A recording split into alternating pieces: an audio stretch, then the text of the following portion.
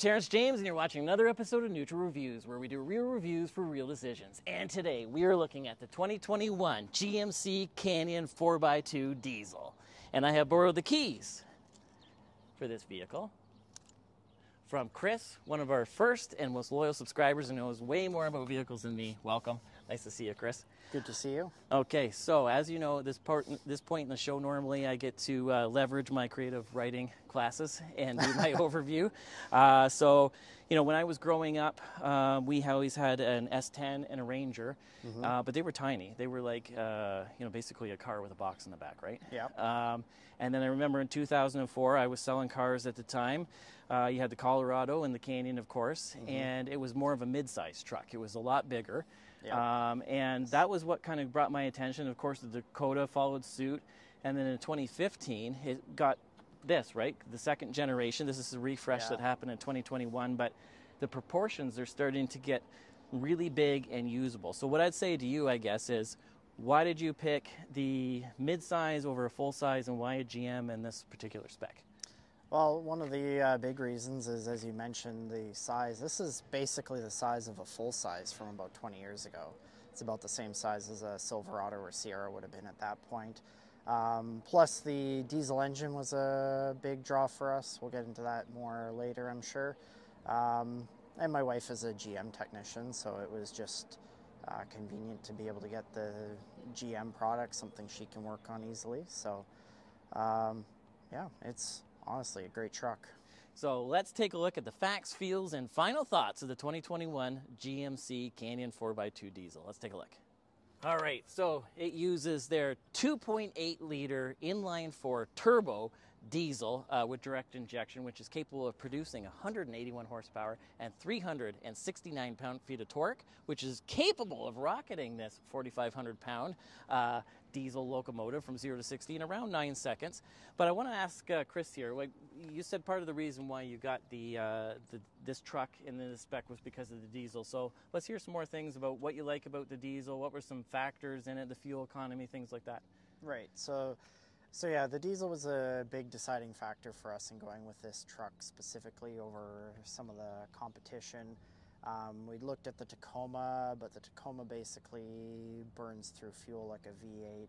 And uh, we knew we wanted something that we could do. We do some camping in the summer and stuff. We wanted to have something that we could take on longer trips and not break the bank when it comes to fuel.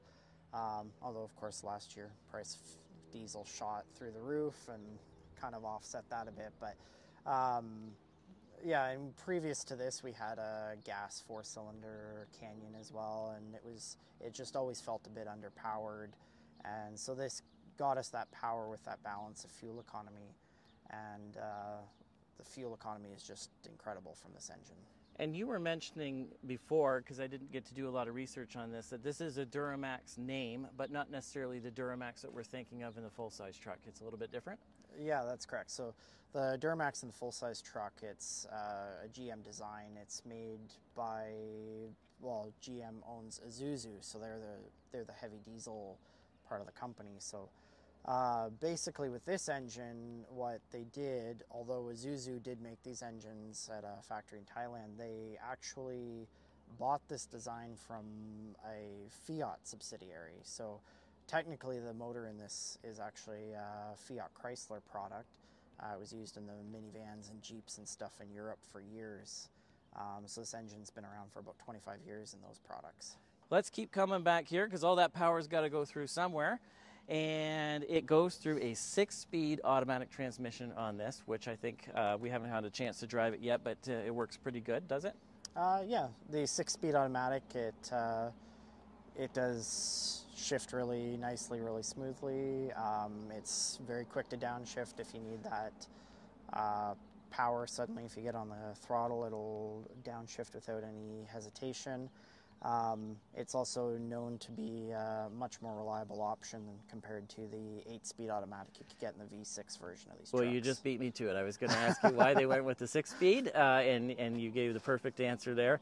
And as we said, of course, this being the uh, enthusiast spec, we have a two-wheel drive. Right. Uh, now, one of the things that I like with the uh, Canyon uh, any of these mid-sized trucks really is the fact that uh, they still sit pretty high. Like you can't really Yep. tell from the side because when I was selling trucks a long time ago, a two-wheel drive was a lot lower than a four-wheel Right. drive.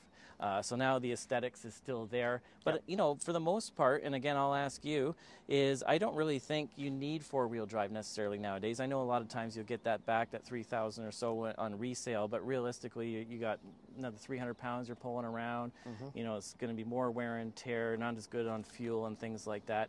Like I know when we had our trucks, a lot of times they were four by twos, and we would just put weight in the back, and as long as you had, you know, good Yep. tires and an LSD or whatever, you were fine, right?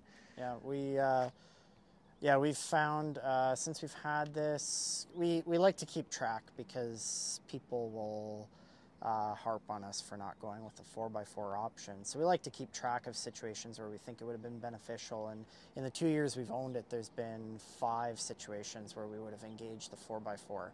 Um, and that was just for brief moments, like you get stuck in some snow Yeah. in the driveway or something, trying to get out, trying to get through that snow the city dumps at the end of the driveway, um, things like that.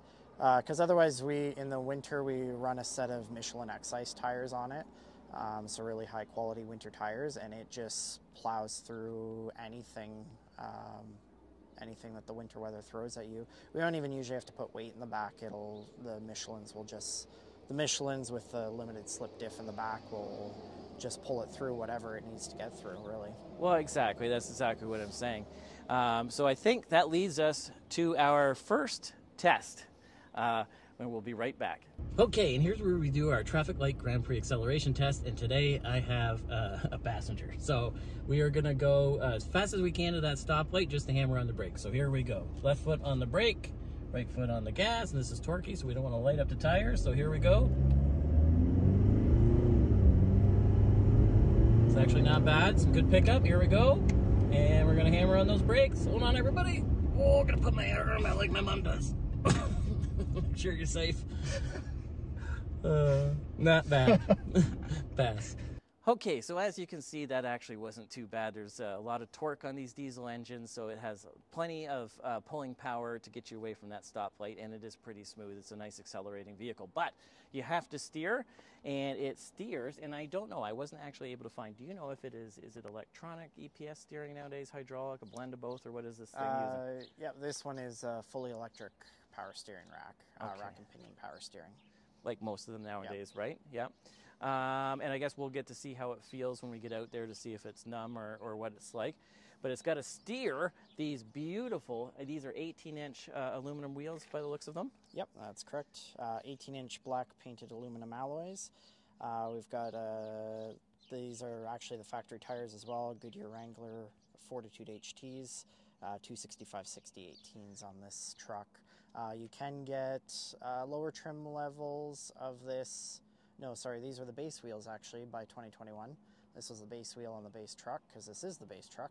Um, you could get 17s if you got the AT4, the off-roading version, and the Denali's came with 20s as well. 20s, wow. That'd be cool. I, I personally, I think I like this size wheel on this truck personally. I Yeah, think. I like the I like the amount of sidewall it gives you, the uh, cushion to do things like Yeah.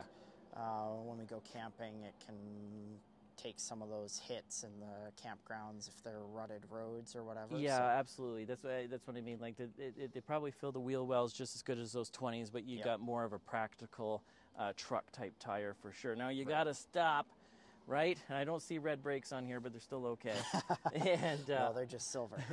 I have no idea. Are those two piston up front? I can't uh, tell. yeah, we've got two piston uh, calipers in the front, single piston in the rear. They look pretty meaty though. They look pretty big. I don't know Uh, what size disc those are, but they look pretty decent. Yeah, that's probably a question for my wife, but I'm sure it'll be up on the screen by the time this video comes out. Right. I'm not sure how big they are exactly, but I do know these ones for 2021 are a bit bigger than uh, before 2021 because we used to have a set of 16 inch uh, winter tires on our old truck and they would not fit on this truck. Yeah, well, there you go. Um, Because, like I said, they look pretty decent for sure. Um, and then uh, we'll put up on the screen too if we can find the stopping distance. I did find some, mainly it's about four wheel drive, but from 60 kilometers uh, to zero, it looked like it was half decent. I think it was around 125 feet or so on a four wheel drive. So, you know, if you backed off some of that weight, I'm sure this would be even uh, shorter distance. So, how do you feel? Um, it stops. It stops. Okay. I don't have any concerns with it, whether it's unloaded like this. Uh, if we've got a trailer on the back too, it um, it's got a trailer brake controller, which I'm sure we'll see on the inside. Um, so it does it handles those quite well. But um, yeah, stopping power is great on this truck. Yeah, well, that's perfect, especially when you are towing something. That is a that is a factor to keep to consider. Is you want to make sure you got ample stopping power, right. and of course we got to use suspension. So we come back here and we'll talk suspension. I'm assuming that it's got strut front. Um, uh, yep, it's got a strut front, double wishbone up front as well. Oh, so oh wow! It's, it's got um, same sort of suspension you'd find in Porsches or other yeah. high performance sports cars. Well, I'm excited that. to take it for our handling test then because that's a that's a nice setup. Now, what about in the back? Live axle, probably. Uh, yep, back is a little bit more basic. yeah. You've got uh, your normal live axle, leaf sprung rear suspension in these. They haven't gone to the coil over springs like uh, Dodge. I think has done that, and I think I heard Toyota is going that route too. So well, I mean, a lot of these truck on frame SUVs like the Wagoneer we did recently. It's a basically a 1500 series mm-hmm. Ram pickup truck that they changed the suspension on and put four wheel independent suspension. So you can right. see trucks could probably. Um, move towards that soon. These are becoming more and more car-like. Even you and me were talking off camera that uh, we personally would prefer one of these over an SUV because you got the usability of the box. So when right. we come back here, when we're talking cargo, um, there's a good lead in. We have the shorter box on here. I think it right. looks good, but did you say they did offer a six foot box or no? Uh, yeah, so this one's the five foot box. This comes standard on the uh, crew cab models. Uh, you could get a six foot box as well, which would basically take the rear end out to here and make the truck uh, just that little bit longer, harder to park in the city and stuff like that. Um, plus, you couldn't get the 4x4, or sorry, you couldn't get the two wheel drive on the longer box with the crew cab. Uh, in order to get two wheel drive, you had to get the shorter box. Like interesting. This. Okay, I know you did tell me that off camera, but that just really dawned on me right now. That's an interesting choice. Yeah. Uh, from their perspective, I mean. Interesting. So, and again, this being a truck, one of the things that we like to do on the show is talk about the towing. And this particular one can do 7,700 pounds, which is the equivalent to one of these active urban lifestyles hanging off the back. Uh, this is quite a, you know, this is quite a truck. All these mid-sized trucks, of course, it's going to be front heavy, being a front engine mm-hmm. and things like that. I think it's probably around a 60-40 weight distribution. Uh, but yeah, and when we talked about everything, it really is amazing what these vehicles can do and how they handle, especially with that suspension setup. And we're looking at about 0.7 Gs on the skid pad on one of these, which leads me to my next test, which is our handling test, our highway and handling test. Okay, we're going to do our highway and handling test. We got a nice stretch of open road here. So we'll put it in drive and we'll test out that double wishbone suspension you were talking about. Okay, here we go. We'll just get up to normal speeds. Just don't test it out too much with that live axle in the back. yeah. My mom watches this, so no. Uh, here we go. All right, so we're getting up at a good speed here, and this handles really, really well. I used to sell trucks, diesel trucks as well, and this is nothing like the Cummins diesels that I used to drive. I, I was mentioning off camera, Chris, that you can definitely feel that it is a diesel. It's front heavy for sure, but it's it it it's very planted. I, I felt that the body was controlled there. Um, it incredibly car-like. Part of the segment is noise, vibration, and harshness, and just how is it to drive on the highway? It, you know, because a lot of people would probably commute with this because of the yep. good fuel economy, right? And I, you know, I don't know how it's going to come across on camera, but in here, I, I don't hear the diesel at all. I was, I was saying to Chris, I think if you were a casual person, you wouldn't even know that this is a diesel necessarily. Yeah, no, I don't think so. It's not like the old, we were talking off camera about the Cummins that you mentioned and the old Mercedes products and stuff that had those really rattly diesels that smoked and all yeah, that. you couldn't you couldn't enjoy yourself. You know what yeah. I mean? It was truly a work truck at that point. Um, and even then, uh, you, you, know, you'd have to drown it out with a lot of country music or something. You couldn't, right? Uh, you know, you could you couldn't think in there. So I'd have to say, pass. All right, checking out the back of the 2021 GMC Canyon 4x2. Now, as we were saying, because these trucks sit up a little bit higher uh, for a four-wheel or a two-wheel drive, more like a conventional four-wheel drive, it is a bit of a, a, hop to get up here for someone as short as me, but it wasn't too bad at all. And one of the things that I like is with these trucks nowadays and a lot of these cars, they realize that people are using this for cargo and not just people. Right. And you can get stuff in and out, which is going to lead me to one of my tests in a second, which is can we fit our baby seat in the back of our Canyon? Uh, but in the meantime, let me see if I can fit in here. So actually, I would imagine, Chris, this is pretty much you know like a good distance. The seats Yep. back, like we're not shoved up to the steering wheel type Yep. thing. So, I'm I'm five ten, so that's my driving position there. well, so there you go. So a five foot ten driver, I'm five foot seven, and as you can see, I still got lots of room here, lots of room here. I mean, on these trucks, you're pretty much going to have the same type of length, I would think, within reason, as a full size truck. And height, where you're really going to notice the difference is kind of the elbow room, I would think. Yeah, But realistically, yeah. you're probably it'll be not- a tight squeeze for three people. I was just going to say, yeah, realistically, I don't think you're probably going to ride with three adults back here very often. Um, so I think two would be fine, right? oh yeah, Looks like it. On being the base model, not a lot going on back here, but we do have two USBs, which is nice to have, and a 12 volt back here. And that 12 volt, Chris, you say is very handy for certain things. Like imagine you put a cooler in, or what are some of the other things you use it for? uh, yeah. You could do that. Uh, we will also, when we go camping, we'll put our air mattress out with the tonneau closed. We'll put it out on the back of the truck. Plug the uh, air pump into the 12 volt outlet in there and run it through the sliding back window Right. and uh, pump up the air mattress on the bed of the truck. So it's a nice, because it's a nice flat surface, nice convenient way of getting it close to the power source. Yeah, no, that's great. And, uh, you know, uh, you, you don't want to have to blow those things up or you pass out. Right. Um, so let me do one of our most important tests. If you're an adult you get stuck in the back, can you put the window all the way down and be cool? So let's tr- let's give this a try here.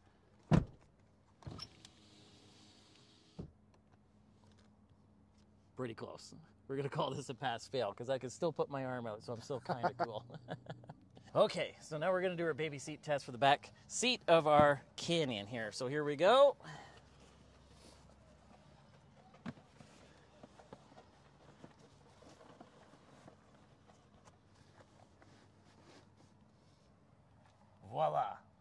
We could put our baby in the back of our canyon. Not our baby, but a baby. but one of the things that we wanted to make sure if you don't have a baby is can you use this truck for uh, cargo, especially for work stuff and things like that. So, uh, Chris was showing me one of the nice things that this truck has that the full size doesn't is this top portion of the seat will fold flat um, when you put the headrest down, of course, because Chris is taller, so the seat in the front goes back. But you do have this split on both sides, which is really nice. And then, like a lot of conventional full size trucks, um, this here, oh, already forgot, flips up, and you do have more storage underneath there and more things that you can put in on the side. So, this really is a usable truck. Pass. Okay, we're cuddling in here in our mid-size pickup truck. Um, and what we want to do is just quickly look at the front before we take this for a drive. And we usually start with the steering wheel. And I have to say, I do like the steering wheel because it looks like a truck steering wheel, uh, but it's nice and thin, uh, feels good in the hand. I do not know, is it uh, power? Or, oh, yeah. So It's not power, but it is tilted telescoping. Ooh. And I probably messed that up in exactly where you like it. You probably took forever to figure that right spot out, but that's nice. Um, I prefer the manual adjustment myself. Um, you got some rubberized buttons here, which I guess would be good for um, keeping it clean if you're a work truck, right? This is more of the base edition, right? Uh, yeah, this is the this is essentially the base model of the Canyon. Okay, and then um, it looks like it's pretty well equipped though for a base nowadays. It looks like you got power windows, locks, um, that type of thing. It actually looks pretty nice in here, but the materials do look rugged as well, but not uh, cheap looking. I think it's a nice mix there. Um, I do like the manual ga- or the analog gauges. I'm a sucker for that. My car has it, but you also have a digital readout with some information there that I'm sure is got some good pertinent information in there for you. Yep. The uh, yeah the center screen keeps track of. Well, of course, it shows you how great your fuel economy is, Which we'll is which is always uh, positive. Um, it also shows you things like the diesel exhaust fluid level, fuel filter level. Since this is uh, diesel, it's got to have those two things for uh, emissions and Right. keeping the fuel clean, uh, engine uh, oil life, um, all that sort of thing is uh, built into the center screen there. Yeah, and that's great. Like, uh, because, like I said, I, it's like old-fashioned watches. I like the analog from the aesthetic uh, perspective, but I do like like my car has as well, that digital readout does give you some interesting information, right? Yeah. Um, and that you don't have to go, uh, you know, searching through the infotainment. So when we talk about the infotainment, you say that um, it looks nice, but it's not necessarily GM's finest. Uh, yeah, that's that's correct. It has some glitchy issues. Um, I think we've had a couple of different warranty claims uh, related to it. Usually just programming um, programming issues that come up with it. But it does have, um, as we can see on the screen right now, it's got the uh, Sirius XM receiver in it, um, AM, FM, Bluetooth audio, uh, USB audio. It even has an auxiliary input. Uh, yeah, I Um, was going to ask you about that. So for like eh, literally like headphones or something, you can put in there. Uh, yeah, like you can use the headphone jack to just like an older, an older vehicle. They've, I think, most of them have gone away from that. We don't have a CD player in this one. They have gone away from that. Um, Android Auto, Apple CarPlay are also built into this infotainment system, so that's really nice on uh, road trips. To Yeah, I was going to ask you about that. Obviously, no wireless charging, but you do have wired in Android Auto and Apple CarPlay, which is nice. What about built-in navigation? Uh, there is no built-in navigation in this one. Um, there was a package that was available for it. Uh, it would have got the Bose stereo as well, which we don't have because we didn't order it. Right. Um, wireless charging was available on the Denali, and it would put the uh, wireless charger right here in the center console if you got it. Um, my understanding, though, is it will not fit things like the um, big iPhones, the big Pixels, stuff like Yeah, that. won't yeah, right. There. Yeah, you know, I always wondered about that. I think you know these vehicles are so expensive, you know, but with their projects, that you know, the, a lot of these things are started five, six, seven years before, and they can't necessarily project that giant cell phones are going to become a thing. Right. Right. Yeah. So And this is effectively a, at this point, over a decade old vehicle. Exactly. Even though this is a 2021, and that's when they did a mild refresh, right? Uh, but exactly, it's it's on that platform from 2015, essentially, right? Right. Of course, nowadays with everything going to electronics, uh, haptic touch buttons, it's nice to still have your your hard buttons for your you know your HVAC here. Yeah. But what's interesting is you got these toggle type buttons down here. And you've got some really interesting, actually work truck related looking things. Can you explain some of the buttons here, like starting from the left to right, like exhaust brake, for instance? Uh, yeah, so one of the big things with the diesel engine option. Um, so this is in your normal gas trucks. There is a trailering mode that would be uh, available here, but this couples trailering mode with a diesel exhaust brake. So it'll actually use the exhaust gases to slow the vehicle down when you're Yeah. towing. And that's like when Um, you hear those big transport trucks going down, especially down a hill or something. You hear the, the, the loud engine sound. That's them braking. Right, it's the same exactly. idea here, right? Yeah. Yep. Um, traction off and uh, four ways, those are pretty standard. Uh, we do have cargo lights on this truck, so that turns on uh, lights uh, where the high center brake light is, like in, an, in a normal truck. We also optioned bed lighting, so there's actually lights under the bed rails Oh, that cool, will light yep. up the bed at night. Um, and then these two are part of a safety package. We've got uh, lane departure warning. There's no active safety; it's all passive uh, safety equipment. Um, but there's lane departure warning and uh, parking assist. We've also up here. This is the camera module for the for the lane keep, and there's also a forward collision warning in there as well, Yeah. um, which is actually uh, one of our probably one of our bigger complaints about the truck because the forward collision warning will actually trigger um, in the rain or in the snow. Uh, it will. It seems to lose sight of where the lines are, and it'll actually trigger a warning and start flashing a red light on the windscreen when uh, yeah. Yeah. it thinks we're going to have a head-on collision with someone on the highway. right. Yeah. It, you know, and a lot of the safety stuff is good, especially when you see so many distracted drivers out there. I, I don't like it as an enthusiast, but I like it to know when other people aren't paying attention that the, the car is doing more for them. But it's not a perfect science yet, I don't think. You're right with all these no. sensors and stuff, depending on where you live and whether they're maintained. But uh, one of the main things we want to do now that we've looked at a lot of the facts with this vehicle is we want to take it for a drive because it's not very often that you get to take one of these baby Duramax 4x2 diesels out. So let's take it for a drive. Okay, here's our final segment where we do our price competition, rants, raves, and we're actually also going to do our final thoughts as well. That we have an actual owner of a vehicle, so those final thoughts probably mean more than coming from me, um, an old ex car salesperson. So, um, yeah, maybe we'll start off with the rants and raves. Uh, I'll say I've already done a lot of the raves in the sense of like, I'm just can't believe how well this thing handles, how quiet it is, the acceleration, smooth, very gas like. Um, don't have a lot of uh, rants about it, um, other than things that you would already know coming into it, which would be your own fault if you're complaining about it. As in, like, there's not as much elbow room as a full size truck. Um, I don't know if that's a real rant. Um, being the base model, you may not have as many amenities or some of the, the, the, the fine touches, but that can also be uh, a good thing because if you are using your truck like for camping or things like that, you don't necessarily want stuff that you're going to scuff up and things like that. So I, I, I, don't have a lot of uh, rants and raves, but you're the owner. Like, what do you think? Uh, yeah, I mean, my wife and I talk about it all the time. We have we have very little that we could possibly say that's uh, that would be considered a rant about this truck.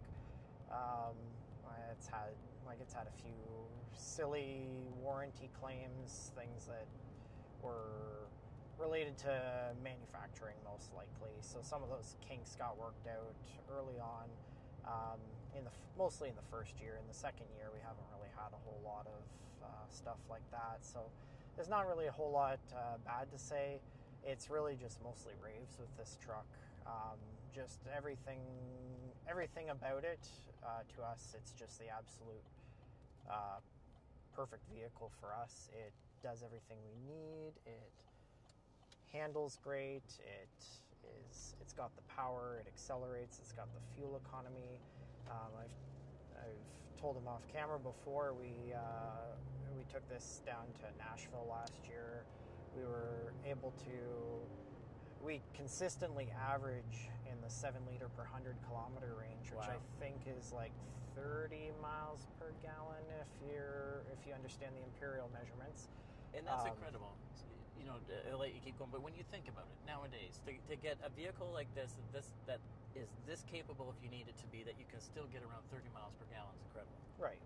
And uh, even on our way between uh, Toledo and Cincinnati, we were, we were able to get that average down as low as uh, 5.4 liters per hundred, which uh, it's well into the 40s. I don't even know what that, well into the 40 mile per gallon range. I can't even remember what the number is, but it's just everything is just exact because we ordered it. Everything is exactly the way we wanted it. The color, the trim level, the And, and, and what is the color name again? Because it's I really I'm a, sucker for blue, and this is one of my favorite blues. uh, dynamic blue metallic. Yeah, no, it's a re- in person, especially on a day like today with the reflections and things, and that you've cleaned it up, and it looks it looks really good. Yeah. Um, now, that being said, when we you said that you picked this the way it is, this is the base model, and you kept it pretty base, and especially with the two wheel drive and things like that. Um, um, I think these were what around forty five thousand MSRP, the way you have it equipped, something like that at the time. Uh, yep. On the Monroney, we've Canadian? got uh, yeah, forty-five thousand Canadian was the uh, price on the Monroney. Uh, we got it a bit less than that because we had some uh, employee pricing discounts and stuff like that. Um, but then uh, I know these you could get uh, two-wheel drive, a two-wheel drive gas uh, extended cab model. Those would run you about thirty, so they would they would get down as low as about 30 and then if you get the fully loaded denali with the longer box diesel engine you're probably looking at closer to 60 Wow. Yeah, it, you know, it's crazy when you think about it nowadays. So, now with that being so, now I, I would think that competition for this would be its its uh, sibling, obviously the Colorado. Yep. Uh, but aside from that one, the Dakota was available, or the Tacoma. Yep. Um, now the Tacoma is a good vehicle, but what would you consider competition for this? uh, yeah those ones uh, the tacoma is probably the biggest competition because they're the biggest seller in the segment in fact it was the competition for us we we would have i think i mentioned earlier on we would have possibly gone with the tacoma if it wasn't for a the pricing that we got on this and the fact that the tacoma is a gas guzzler Yeah. Um, so that was a big deciding factor on both fronts. And then uh, Nissan Frontier is another Nissan Frontier, that's one. right. Yep. Uh, the only other competitor that's not the Colorado that offered a diesel is the Jeep Gladiator. So that would be another competitor, I think, technically. Right. Honda Ridgeline as well. Right, but the Honda wouldn't have the diesel. No, Honda Yeah. has got a gas V6. Yeah, so really it's Um, kind of oh, and unique the Ford in that Ranger. sense, right? I forgot about the Ford Ranger. Yeah, the Ranger. uh, uh, Yeah, exactly. But I, I would have to say that that diesel really does kind of set this apart, really, because that Gladiator is a nice vehicle and a similar size. But I wouldn't think. Uh, I haven't tested one yet, but I used to sell Jeeps, and if it's anything else like a longer wheelbase uh, uh, TJ or something, it wouldn't be the, anything that would handle like this or whatnot. But No. uh, that very leads, very focused on off-roading. well, that's what I mean. Yeah, it's kind of a different angle. So that kind of leads me, I guess, to our, our, our final thoughts. Well, I'll, I'll, leave for you and recommending to anyone that's looking for a mid-sized truck and a, and a diesel. Yeah, I mean, like like I said, I don't I don't think I can say enough great things about it. So if if this is the sort of vehicle that you're after, they don't. Unfortunately, they don't make them anymore. So yeah, you you're saying the able- 2023 they've gotten rid of the diesel. yeah, they've discontinued the diesel option, so you won't be able to order one brand new. But there are some available out on the uh, market, and if it's something that you're interested, I I highly recommend uh, checking it out. Well, there you go. Uh, thanks for watching, and we'll see you again next time.